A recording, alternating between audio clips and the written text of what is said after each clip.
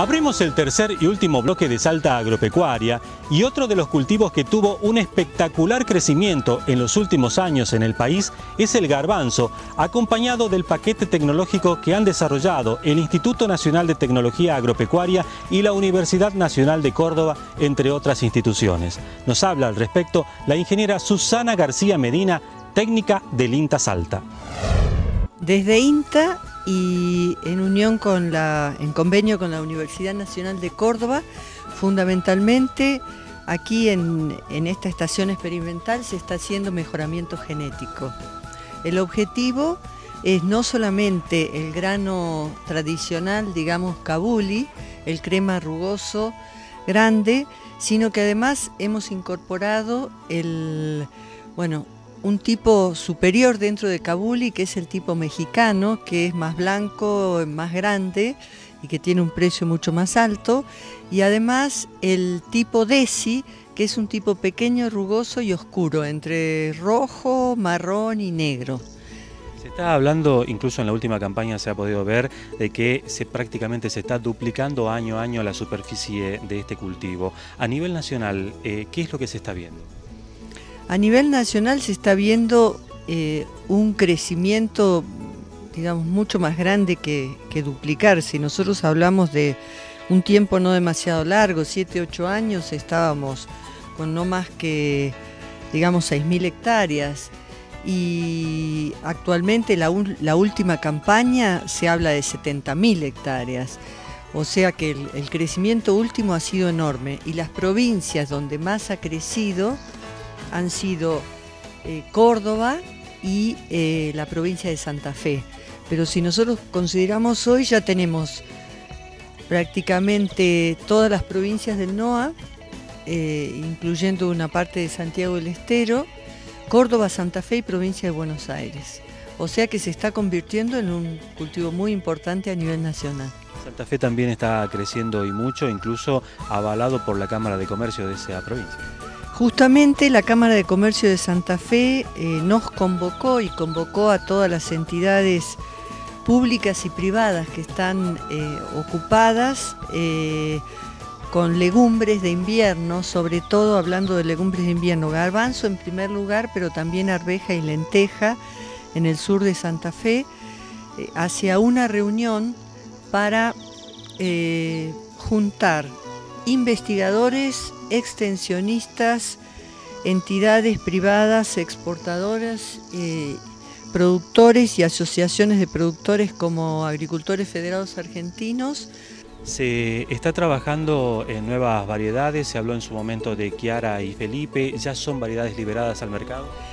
Estamos esperando la liberación al mercado, probablemente ya eh, esperamos que, ocurra en el mes de marzo, digamos, a través de INASE, que es el Instituto Nacional de Semillas, y eh, estamos avanzando en el programa de mexicano y eh, ya tenemos eh, dos precomerciales seleccionados muy interesantes en el tipo DESI.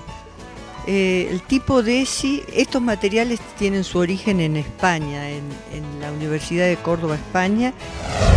La agricultura de precisión y en este caso la utilización del piloto automático también se está utilizando en el Valle del Lerma y en esta ocasión en el cultivo de tabaco. Dialogamos al respecto con el productor Javier Sanz Navamuel.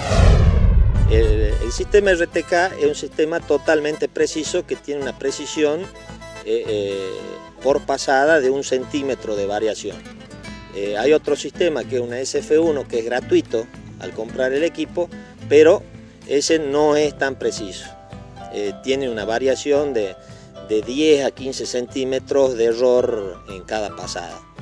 Eh, y si uno quiere llevar lo que esta es la idea al, equipo en una plantación intensiva como es el tabaco, a lo cual se raya para plantar y poner los surcos a 1,20, después el cultivo se hacen varias pasadas en cuanto a aplicación de fertilizante, eh, se vuelve a merguear para rayar, este, para regar por surco.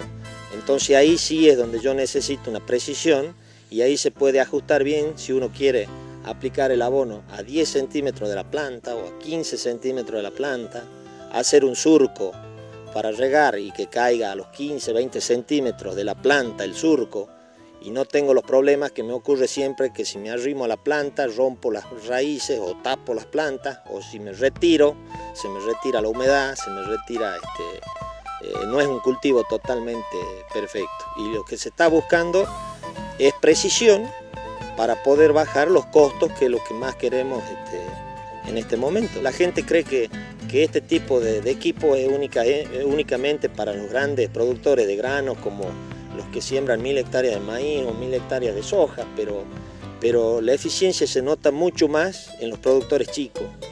Porque yo le voy a dar un ejemplo, el, el tabaco se hacen seis o siete labores entre cincel y rastra para dejar el potrero preparado.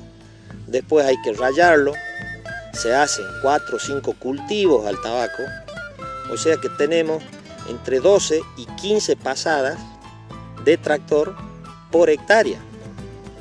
Entonces, si yo logro una eficiencia por no repetir las pasadas, por la exactitud del equipo, de entre un 10 y un 12%, quiere decir que un productor de 50 hectáreas